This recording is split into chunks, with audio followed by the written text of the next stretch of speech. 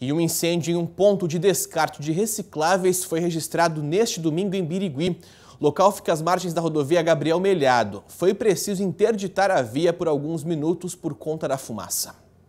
A fumaça podia ser vista a mais de 30 quilômetros de distância. O incêndio provocou transtornos aos motoristas, que tiveram dificuldade para trafegar pela rodovia Gabriel Melhado. Muita gente preferiu dar meia volta e não passar próximo ao local, que ficou interditado no fim do dia. O fogo só foi controlado no início da madrugada de hoje e por pouco não atingiu uma área de preservação permanente. Equipes da Prefeitura de Birigui e usinas da região trabalharam até as primeiras horas da manhã no rescaldo. A Prefeitura informou que as causas do incêndio estão sendo investigadas, mas os bombeiros registraram o caso como criminoso. Ninguém ficou ferido.